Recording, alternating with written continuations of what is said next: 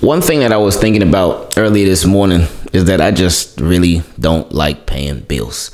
I pay them, uh, of course, but I just don't like it. Uh, and I got reminded of that because I have a couple of different things that come out automatically every single month. And the thing about bills is that I don't. I mean, I really don't like. I don't know anybody that likes paying bills. Uh, but it's something that we have to do because if you don't pay your bills, then you won't have a car. If you don't pay your bills, you will not have a cell phone. If you don't pay your bills, you won't have electricity. You won't have heat. You won't have this and that because you have to pay those bills.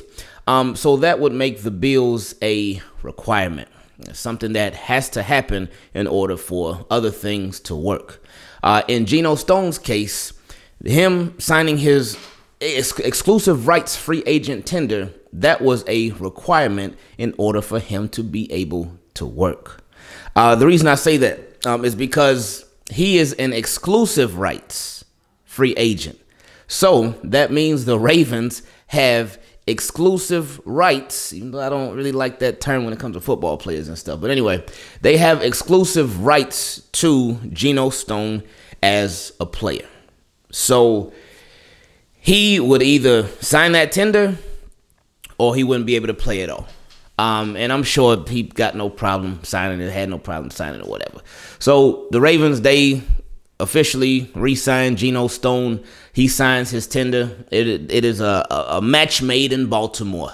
And of course, y'all know the story. The Ravens, a couple years back, they drafted Geno Stone. Then the same year they drafted him, they cut Geno Stone. Geno Stone went to the Houston Texans. He was like, oh my goodness, what's going on over here? Big yikes. Then he came back the following year and re signed with the Ravens. And that's been that ever since. Um, and I do believe that with Geno Stone, I'm pretty sure he was the last person that ever, and this is not going to change because you know he ain't coming out of retirement. I mean, people were waiting for him to go into retirement, but he is the last person ever to catch an interception from one Ben Roethlisberger. So that is a record that will never be broken, that will never be changed because Big Ben, he ain't playing no more. Trust me. Um, so shout out to Geno Stone. Uh, but he's one of those cases where with the Ravens, um, Stay ready so you ain't got to get ready. Uh, and with him, like the Ravens, they are quietly um, loading up on. They got a lot of safeties, a lot of safeties. Um, they of course signed Marcus Williams. Um, they have Chuck Clark. They re-signed Tony Jefferson. Um, they brought back Geno Stone. They're gonna be getting Ar'Darius Washington back, who broke his foot last year. Um, and I'm missing so oh Brandon Stephens. They got Brandon Stephens as well. Um, and I feel like I'm still missing somebody. But either way. Uh, so they, they they quietly got some nice little depth at safety. Now, um, even though they got all that depth there, uh, everybody's not a lock. Now, um, with Marcus Williams, obviously a lock. Chuck Clark, he's a lock. Brandon Stephens, he's a lock. Darius Washington, it's weird, but right now I actually feel like he's a lock. I do. Uh, he made the active roster last year, uh, and despite him breaking his foot, he's another one of those guys that I think the Ravens like really, really uh, value a lot. Um, and uh, there's been a lot of chatter. There had been a lot of chatter last year, uh, and then then there's been some chatter going into this upcoming season that he could possibly be an option for them at slot corner.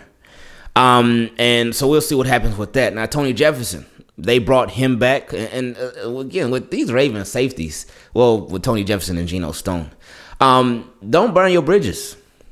That's that that is something that you should take in life with you to not burn your bridges. In some cases, it can be a, really hard because people be trying you, and you're like, man. But if you can maintain your composure, it it can be a beautiful thing and if you don't burn bridges, you you just never know. You never know when things may come back around. You never know what opportunities could come from not burning bridges. You just you you never know. Anything could possibly happen. Uh, so with Tony Jefferson, we remember um, he uh, against the Steelers too. Against the Steelers, I guess if you make a play against the Steelers and that ends up being the last game of your Raven career, then the Ravens will think about it. They'll be like, "Huh, you know what? We like that guy. We'll bring you back." Because um, Tony Jefferson he was making a play against the Steelers. That's when he tore his I think it was an ACL Achilles. Um, then the Ravens ended up cutting him, and then a couple years later it comes full circle and he's back on the squad. So and then with Geno Stone, he makes the pick against Big Ben, and Ravens like, hmm, should we tender him or no? Ah, uh, yeah, we'll do it. Okay, come on back. But again, with him, they drafted him, cut him, brought him back. Um, so with him, uh, he gonna have to fight. Like he, his deal is like super cheap, but still, um, the the only locks I see as safety. Uh, Brandon Stephens, who you know, like he is going to be on that field, and you know he's going to be on that field. Um, and the thing with him too, something that I think is going in his favor right now. And of course, we still got free agency, we still got the draft and whatnot.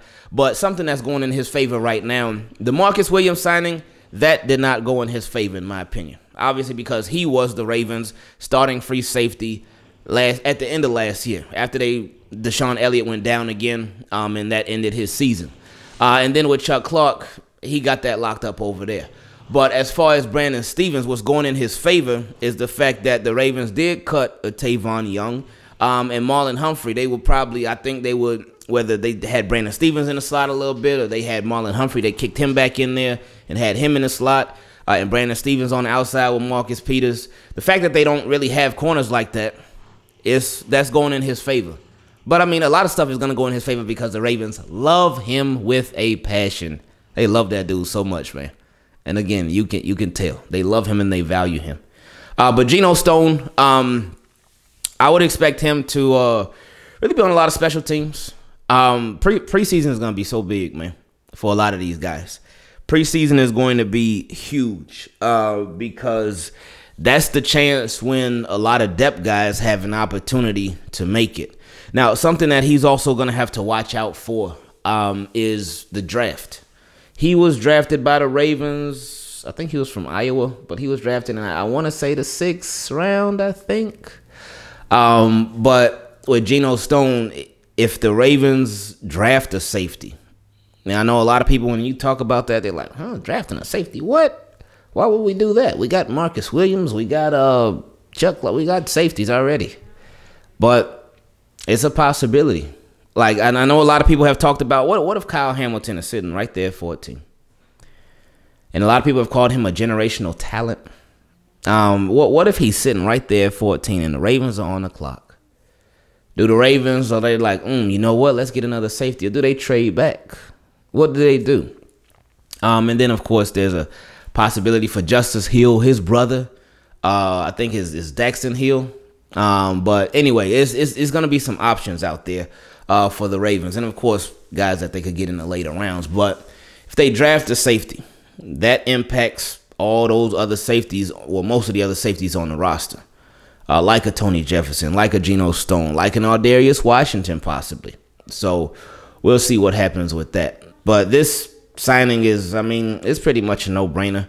Uh, you want to go into the draft um, with as much depth as you can possibly have. Um, and right now, the Ravens as safety, hmm, I would probably say that's the position where they have the most depth on the roster. Because, yeah, the most depth on the roster. And the most health, too.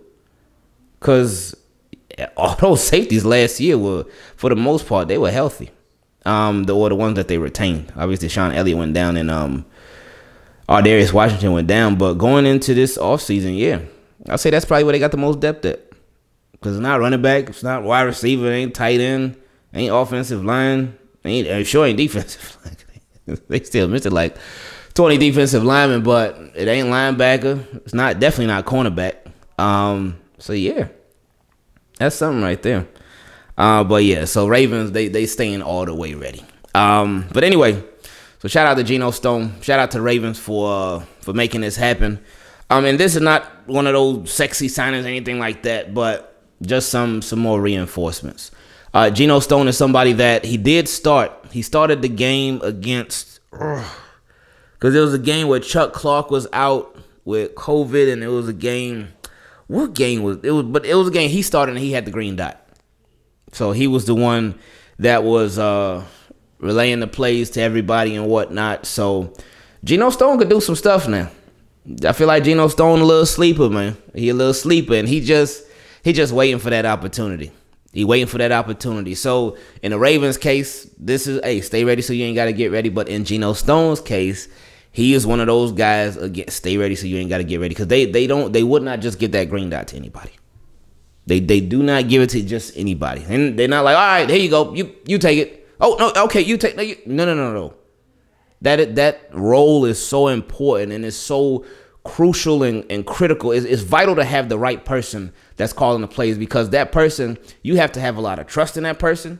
That person has to display a high level of leadership.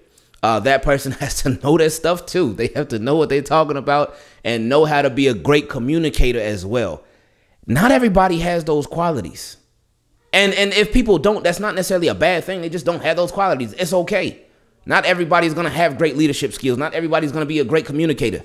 Not everybody is gonna be a, a great, uh, great at sending a message to everybody. Not everybody's gonna be great at that, and that's fine. But if you have somebody that is like that, it's important that you hold on to them. And it's important that they know uh, how valuable they are as a person, not only a person, but a player as well. Um, but person first and foremost. Uh, but I appreciate y'all. I value you all. Um, thank you for always watching the videos. Thank you for supporting the channel. Thank you for 53,000. We have 53,000 subscribers, and that is um, a lot of y'all Looney Tunes for subscribing to this channel. Oof, boy, y'all are crazy for real. But I love y'all. Um, appreciate y'all. I see y'all later on. And like Geno Stone won't be when it comes to being with the Ravens, I'm out.